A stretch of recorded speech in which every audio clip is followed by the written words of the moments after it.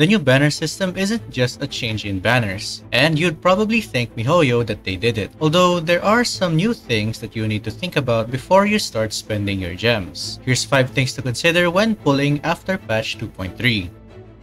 Now the new banner system is pretty subjective if you think it's good or bad, but bottom line is that this type of banner is what we will be having from patch 2.3 onwards, which means we can have a plethora of combinations from double DPS banners like Xiao and Ganyu, or best paired units like Hu Tao and Zhongli. We can also get double supports like Albedo and Kazuha in the same banner, or even random combinations like, well, I don't know, Yoimiya or Klee. So keep an eye out for the banner announcements because you'll have to either think more on who you want better for your roster or just try your luck and get both because of their synergy while pulling within their durations. At number 2 is that new characters will last longer or have the older version of durations. Now I don't really know if this is confirmed or if I just misread something, but since reruns will come in pairs, we can hope and be glad that new characters will have a full 20 plus day duration. So, not only do we get more chances at getting the older characters, we also get more time to try and get that new 5-star character. Granted, it's basically the same as before, but hey, at least we don't get half of the duration for the new characters. At number 3 is more consistent reruns. I've already said this, but I'll elaborate on this further. So not only do we get more choice when we save our primos,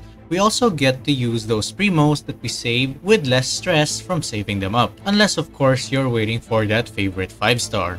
You can pretty much be more relaxed when using your primos because the characters will be back after 2 or so patches. Similar to the weapon banner but you get a better rebound if you fail your 50-50. Let's say you lost in getting Hu Tao, well that's okay because depending on the character, you can get Zhongli, the best tank ever, or Ayaka or Ganyu, which are one of the best cryo DPSs.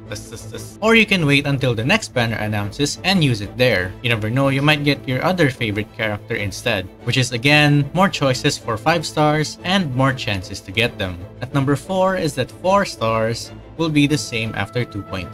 Now this is either good or bad depending on the player. If you want more constellations for your 4-star character but can't get quite lucky enough to get them for each 10 pull, you might want to keep the banner the way it is. For players looking for diversity on their roster, or new players looking for more characters to try out, then probably having the 4 stars and then changing them later would be better. Although depending on your 4 star, you might want to go for their C2, C4, and C6 instead of their C0 only, since there are a lot of 4-star characters that really show their potential after a few constellations. And the last one at number 5, possibly more new characters per patch. Now this is just my thoughts and theory, but since we get more reruns, we could get more new characters after every patch. We'll be seeing more of both 4-star and 5-star characters in the long run. Sumeru being just after a few more patches, combined with this new system, I guess we can start hoping, instead of coping, for more new characters and more reruns of older ones as well as better chances of getting them. This video basically just sums up what we can expect in the future. This isn't really a theory video, but kind of a theory video in form of a more gameplay slash meta sense than a story and lore one. But I still hope that you guys enjoyed it. As always, be sure to hit the like button if you found this helpful. Comment below, say hi, and tell me what you think. And subscribe if you're new to the channel. I want to hit 1k subs as soon as possible. So yeah, click on it. And if you're interested in more of my videos, click the bell icon to stay updated to my new videos. I'll see you guys later. Bye!